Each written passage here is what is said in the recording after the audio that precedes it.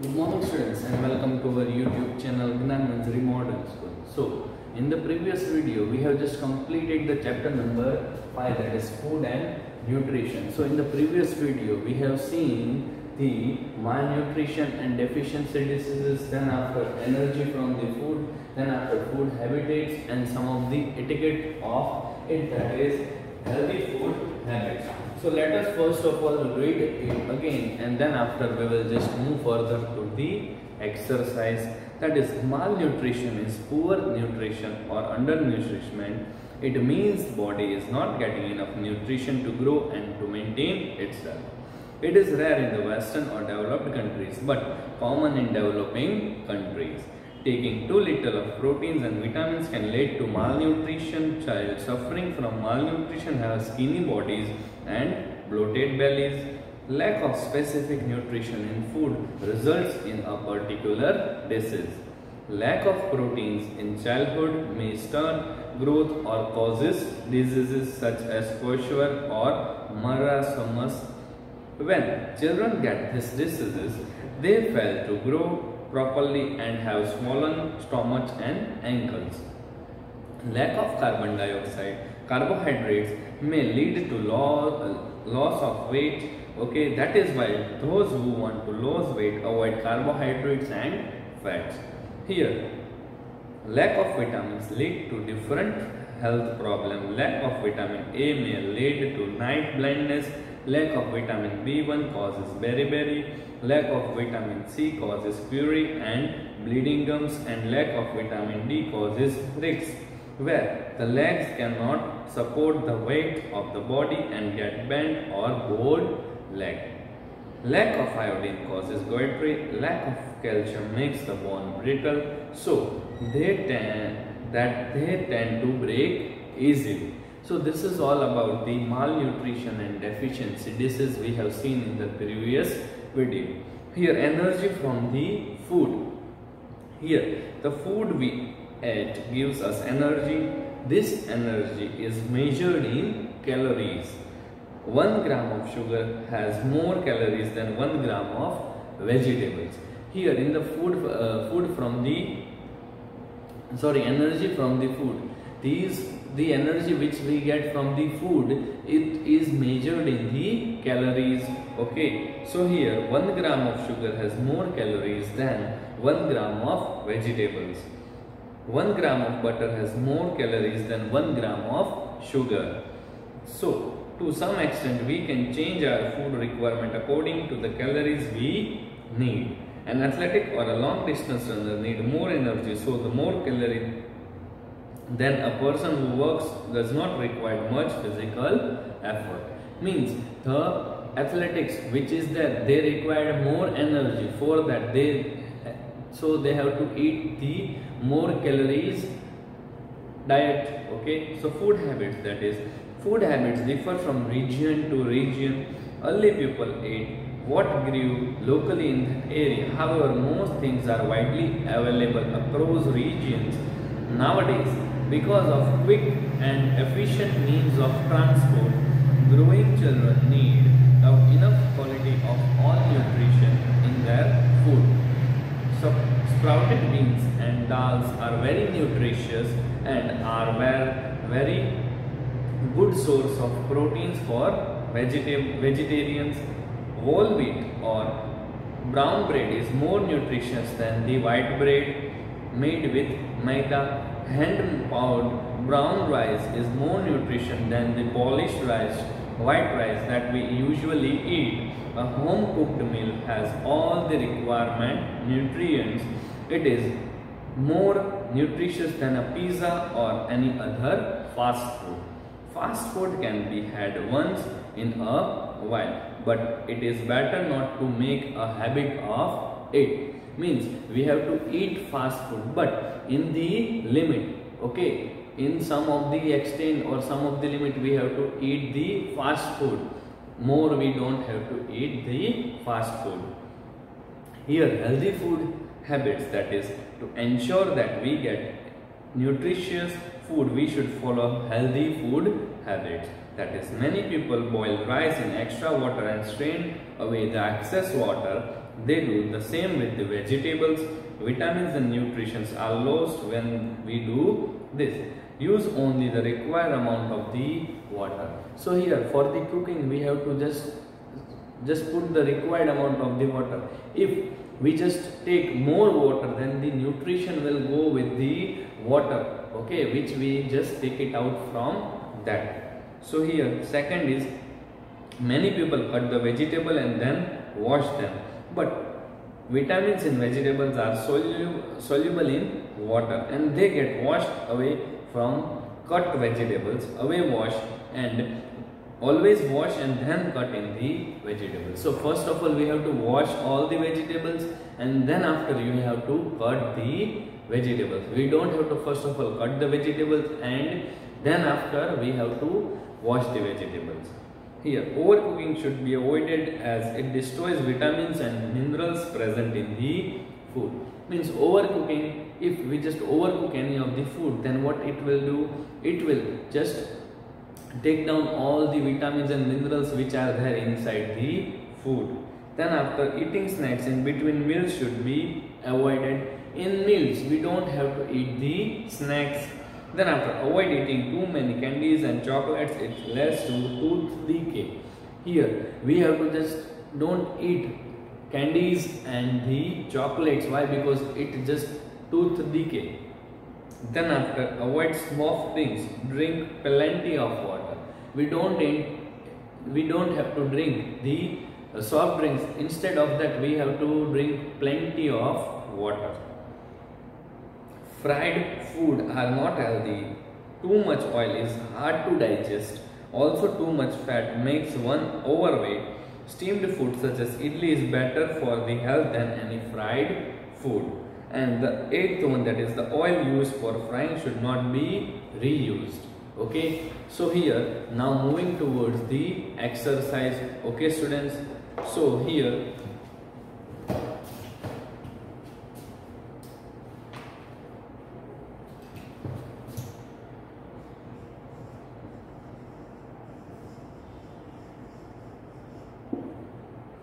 and then question number one that is MCQ okay? So here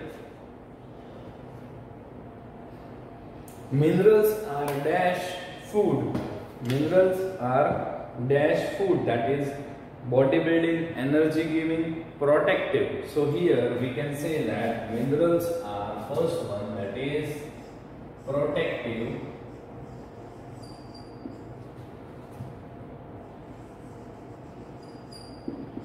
Protective food.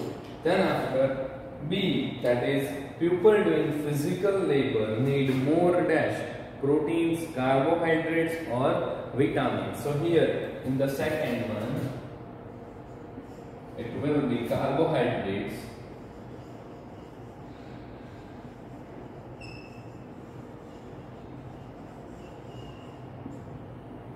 carbohydrates then after third one that is malnutrition means dash nourishment that is good under and over. So it is under nourishment. So third one it will be under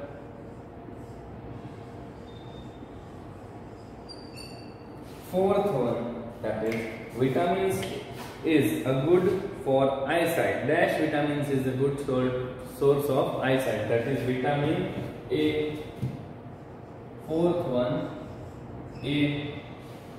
Then after dash is a healthy way of cooking food that is steaming, frying or baking. So here it is steaming. So fifth one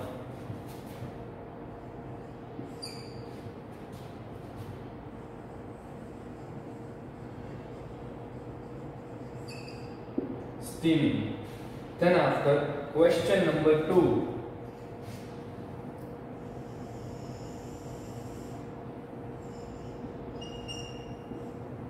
it is filling the blanks that is in that first one that is dash helps repair damaged tissue so here we can say protein helps first one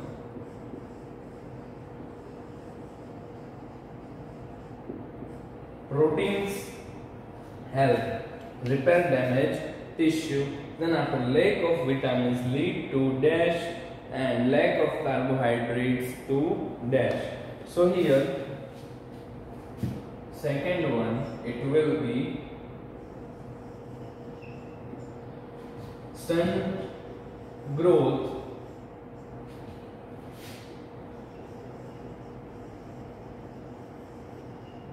And loss of weight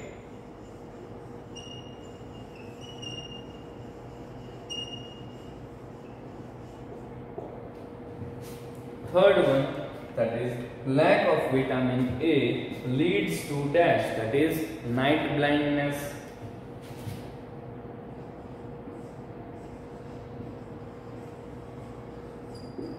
Night blindness.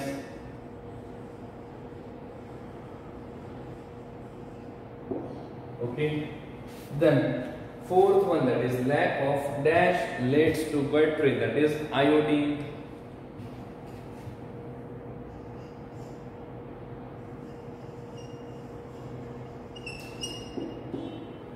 okay then after fifth one energy obtained from food is measured in dash that is calories. So in that it will be calories.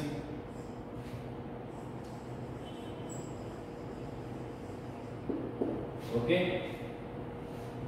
So students please write down the answers and the question. Answers will be provided in the form of pdf of chapter number 4 and 5 together. Okay? In after the today's video means on friday you will just receive the uh, question answers chapter number 4 and 5 okay students you first write down this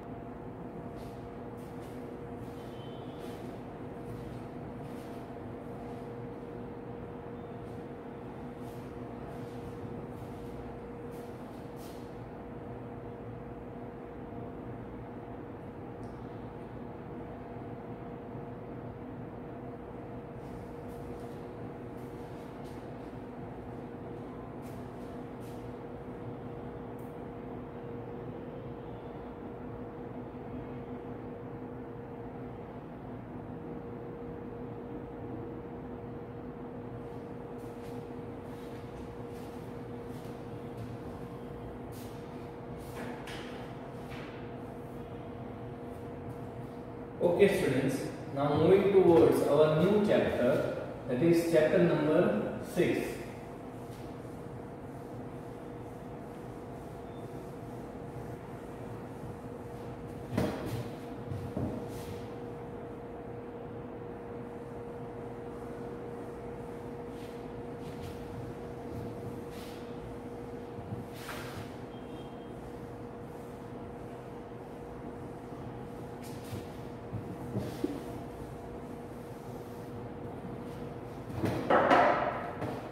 Chapter number 6.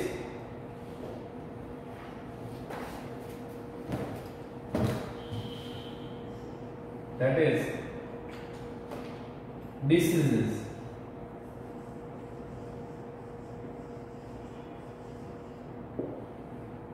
Okay. So first of all students, what are diseases?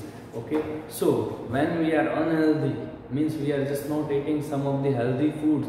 There are some of the lack of nutrition and vitamins okay minerals and that all. Due to that also some of the diseases are there and due to some of the viruses bacteria and then also we have some of the diseases. Okay so that is the disease. Let us here see introduction part.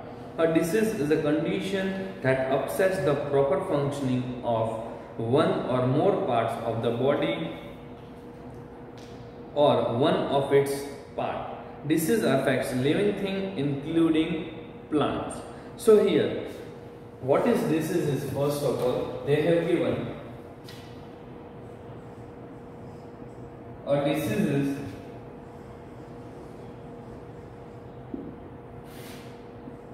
disease is a condition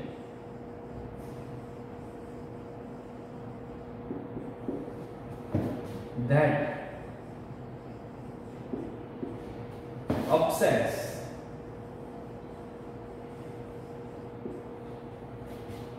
the proper functioning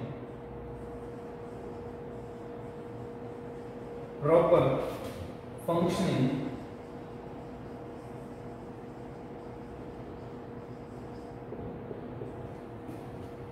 of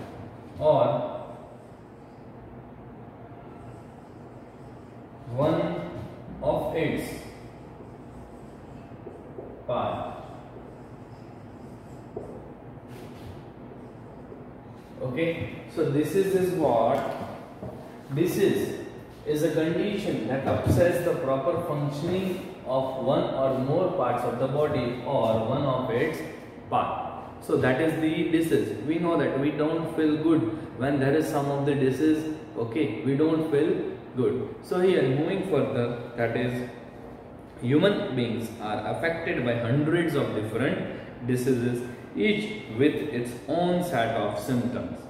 The symptoms could be fever, headache, body pain and so on, which enable the doctor to diagnose the disease. Patient can generally describe the symptoms. Doctor can also find the signs that the patient cannot describe. Okay, like for example an enlarged liver that helps them in diagnosing the disease. So here disease can be two types that is communicable and non-communicable disease. So here the diseases are further categorized into two parts. Okay, so the first part that is communicable.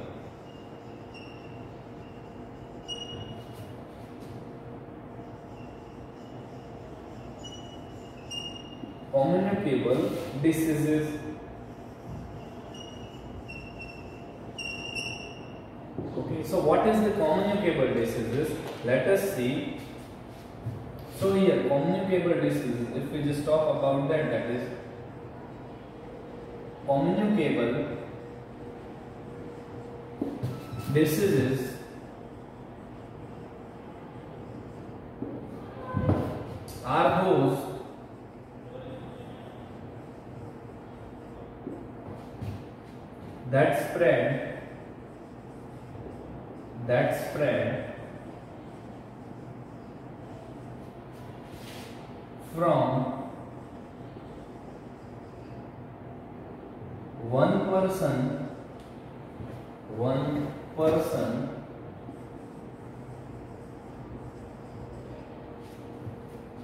to one another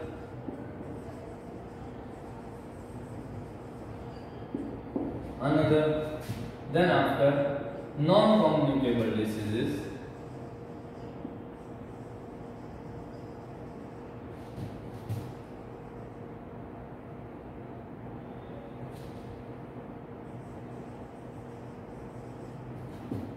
diseases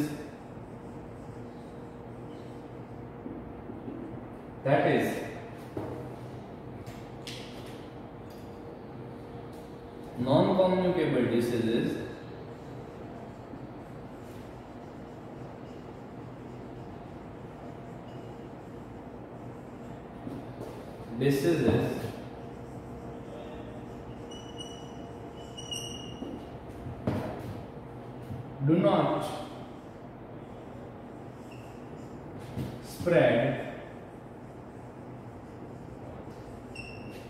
from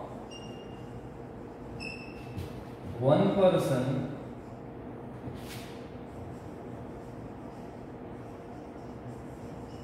to another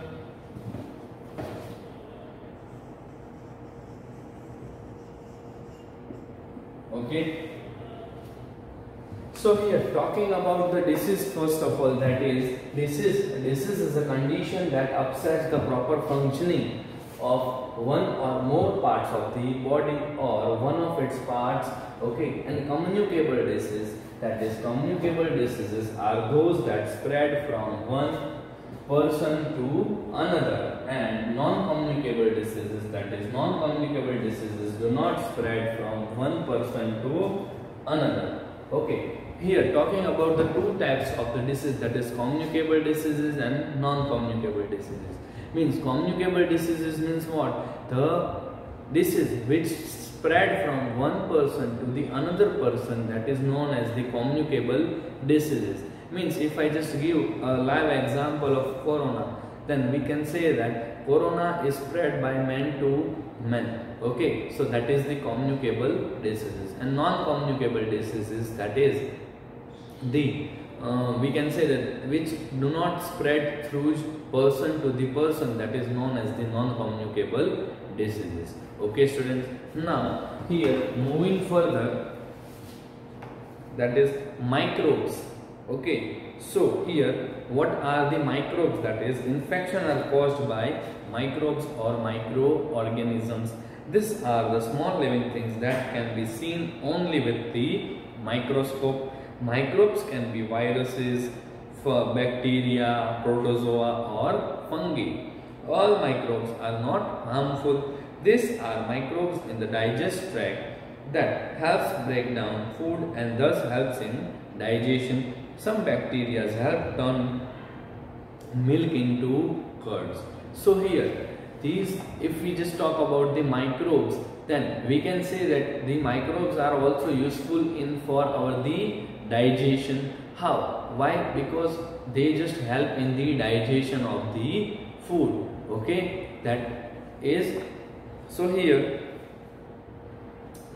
here also they have given another example that is some bacteria just convert milk into the curd. Okay? So here it is given in a box that is an epidemic is a sudden widespread cause of a communicable diseases a community in 1918 an epidemic of flu spread across the world killing 100 million people more than the number of people killed in the first world war. So here it was in the 1918 now we can say that in 2019 it came again with the new name that is the corona in that thousands of millions just died. Okay? So here communicable diseases let us see that first okay?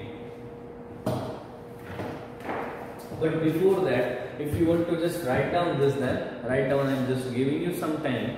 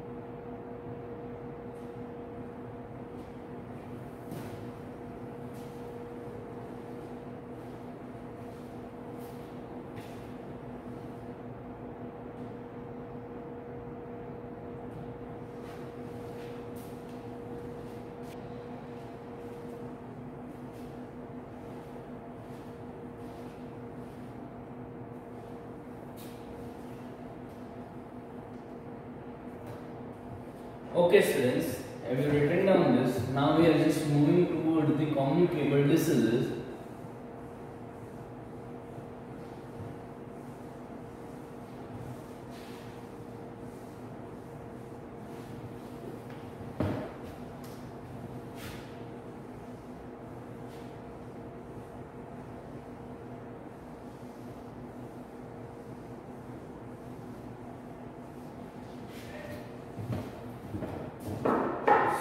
communicable diseases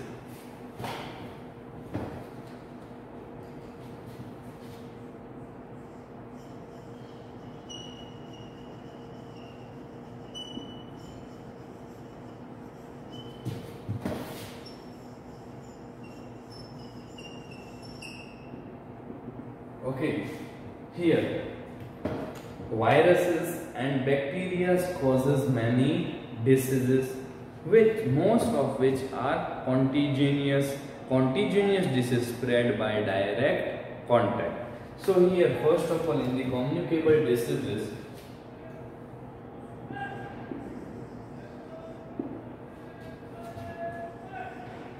viruses and bacteria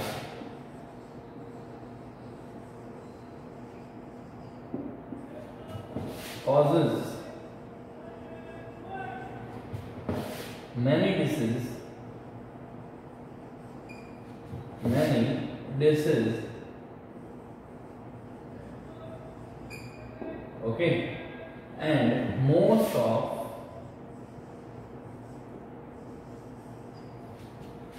which are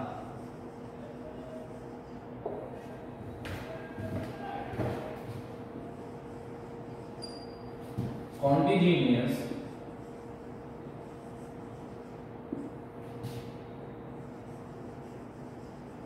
contagious. So here contagious disease is spread by direct contact. So here contagious disease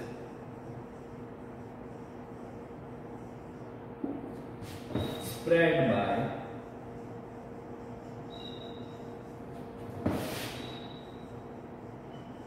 direct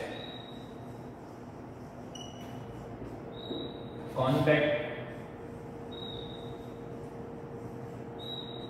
okay here you can also catch the infection by staying in a room of sick person who sneeze or cough or maybe using the towel or drinking glass of the infected person. Smallpox, one of the most contagious diseases, was declared by the World Health Organization to have been eradicated in 1979. So here some contagious diseases are primary diseases of children such as mumps, measles and chickenpox. These are the childhood infectious diseases. Okay so these are the communicable diseases.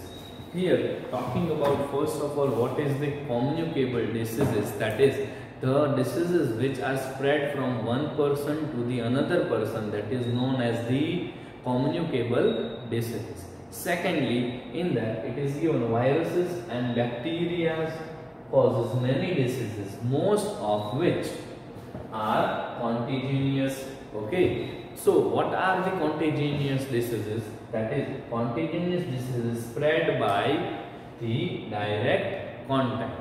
Okay, so how they can be spread? They can spread when a person is in the room and sick person, when you just go to the sick person's room and when they just coughs or sneeze, then if you just touch the uh, glass which drinking glass of that and if you touch him or her then also it, it can be spread to you okay? So this is all about the communicable diseases okay students? If you want to write this then you can write down and just giving you some time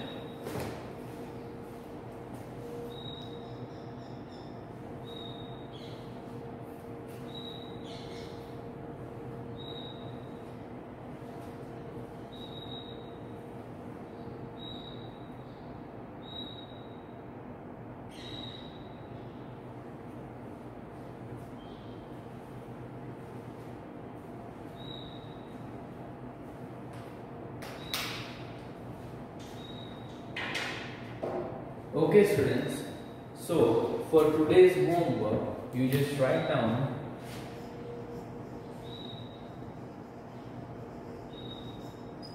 homework that is first of all what is this is